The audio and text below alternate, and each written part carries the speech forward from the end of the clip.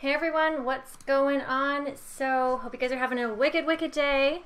I am trying out some new software, so hopefully you guys can also give me some feedback on how it's going. Um, I'm getting so many questions about my sales pages. So, I just launched another program, you guys know, and um, I create all my own sales pages myself. I do them inside Canva and Usually I talk a lot about funnels and that kind of stuff, but I figured I would give you some behind the scenes access into my sales page design. So let me show you what it is that I'm talking about. Um, I'm going to show you a few different examples and then I'm going to walk you through what is most important in terms of um, what I think makes these pages a lot more badass. And you're welcome to ask me questions if there's certain things that you want to know, like how the heck do you make it happen?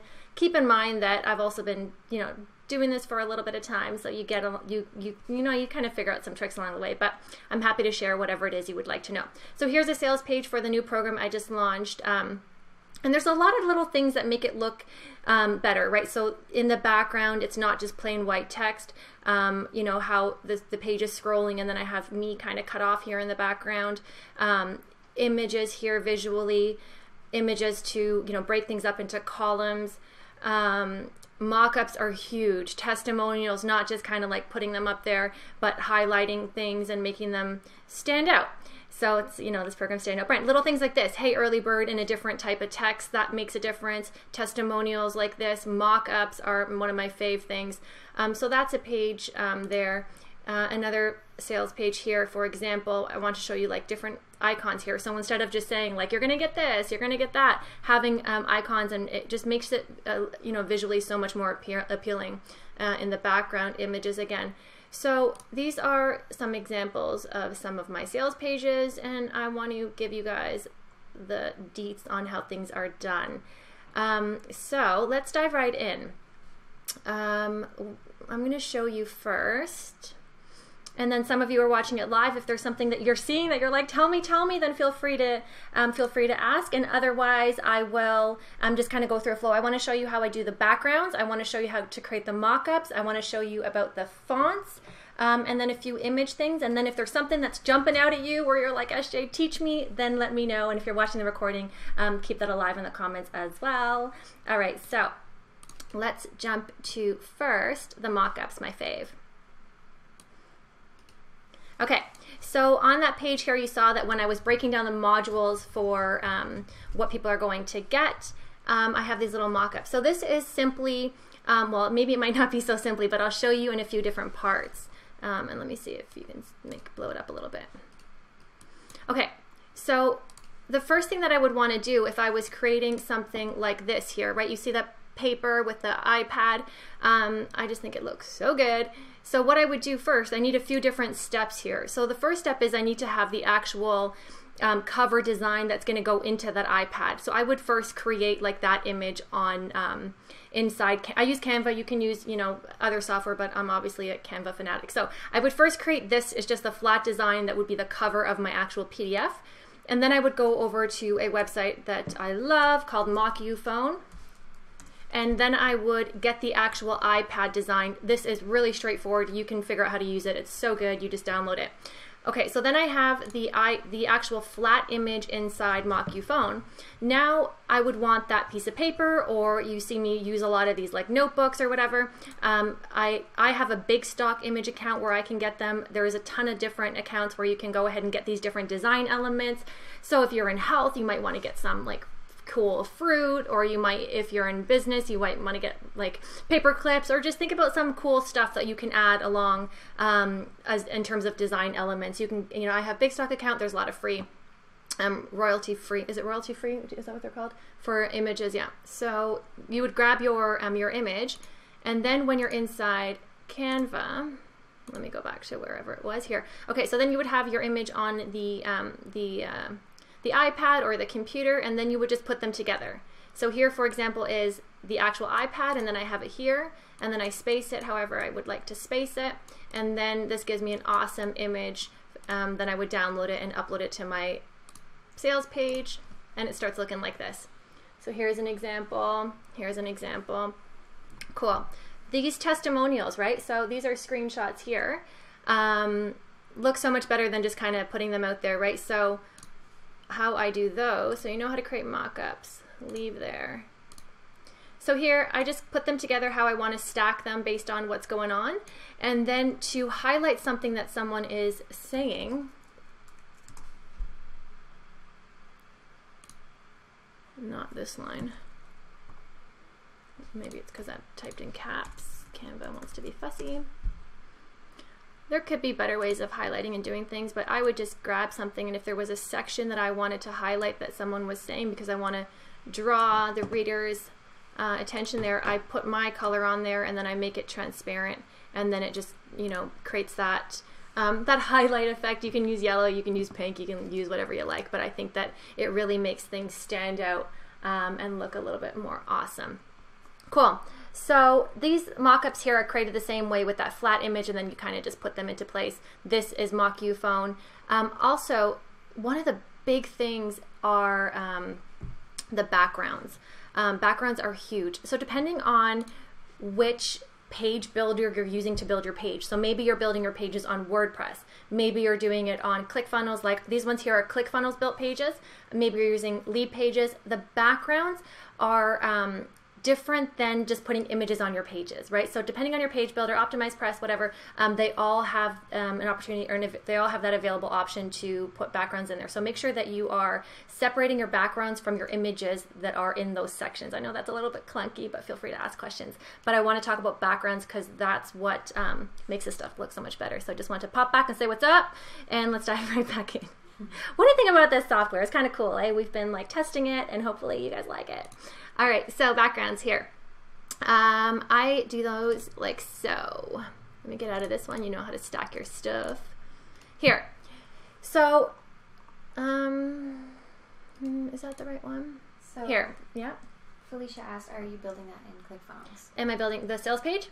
Mhm. Yeah, my sales pages are built in ClickFunnels, but I also have some in Leadpages, and I also have some in WordPress. It's all really the same, um, the same format and system here um, in terms of backgrounds and adding different design elements. I even on my website, my about page and my home page and everything has the same features. That's a great question. Um, okay, so if I wanted to have a background on something, I use this size. Let me tell you what it is: 1920 by 1080. So, and then I go ahead and say, okay, what do I want? Um, so I might just put a picture of me or anything for that matter. So let's say I wanted to use this picture here.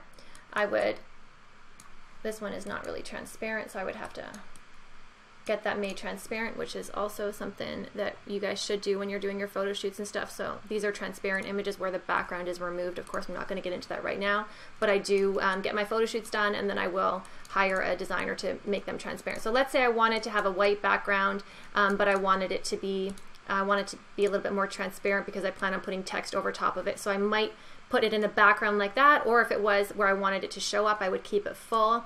If I wanted it to be a dark um, background because I wanted to, you know, put white text on top, I would do one of these. Um, I would just put a square on top. Blah. Any official graphic designer is probably watching this and being like, what the heck are you doing? But the facts are that my sales pages look bomb. just saying. So how it happens doesn't matter, I think anyway. So you could just do something like this, and then you could put text on top in your actual builder. So I think that looks awesome. Um, if you wanted to use one of your branding colors, I could do a section like that. And this is how I create these different. So you see how there's me there. Um, see how there's a yes there, and it's kind of faded. Um, I just wanted to, you know, add something a little bit different and not have it just be a white um, background. So I just kind of did one of these like so. Um, picked a font, made it really big, but then I wanted it to be kind of blurred in the background. So I also made this a little bit more transparent so that it's just kind of there. So like that just kind of in the background, right? And then it's not the exact same font, but you get the point. So that's how I did that. Same thing here. Um, same thing here. Yeah, okay, so you know how to create these mockups here. Let me show you this one. Um, this one was not done inside um, MockUPhone. This would have been done in... Um, oh, I think I X'd out of it. But essentially all I did was I stacked them up on top of each other. um, in a different canvas size than the one I was in before. But I just grabbed a whole bunch of screenshots of my videos. So imagine if these were the screenshots of the actual videos. And then I just took a whole bunch of them, stacked them on top of each other. And then I just found like the play button inside Canva. And then I put that on here. And then that was, that's how we created this one here. See there's different play buttons. So it's a screenshot of my membership site and then I put the play button on top and then I stacked them and then I downloaded it and it looks like a mock-up. Really cool.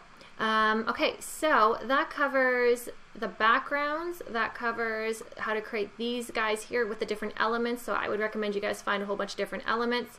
Um, these fonts here, same thing. So if you want to have, if you don't want it to just have the font that your builder provides, you can easily um, go and create a whole bunch of new um, let's say you wanted to have like different sections with your own font.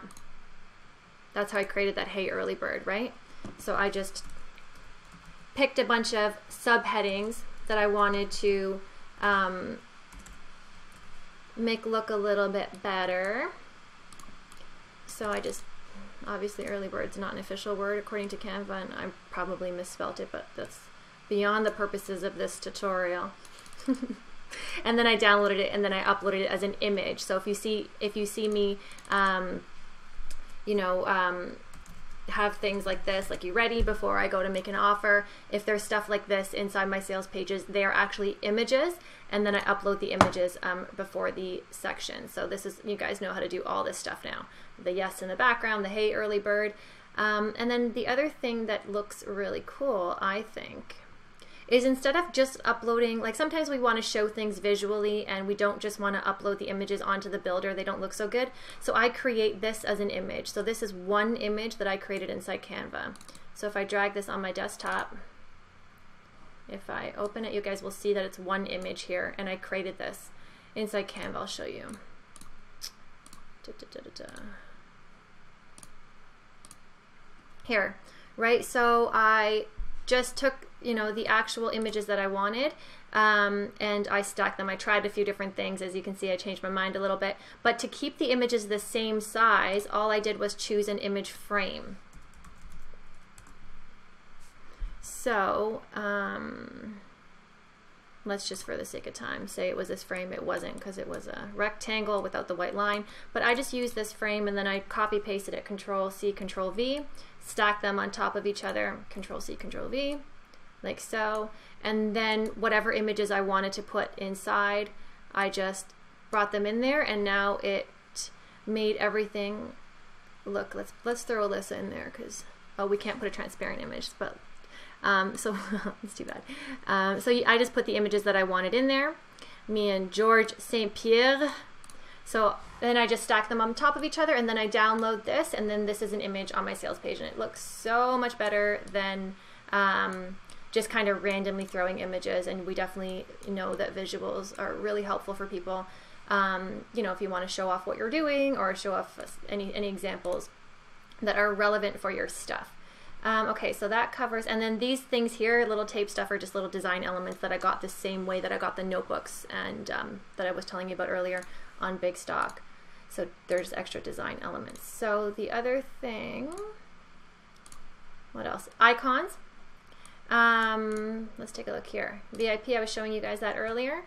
So if you want to show that what are people going to get? They're going to get a questionnaire, they're going to get a strategy call, they're going to get, they're going to get, right? As opposed to just having like a million bullets, it, it, it dilutes the message. And, and if you want to really make something stand out, it's really good to have this here um, visually. So I created these here in Canva and then I downloaded them as images, uploaded them into um, my builder, which I use ClickFunnels, but I can I also do this in WordPress. I also do this in um, Leadpages. So it's a four column block with an icon and then text underneath.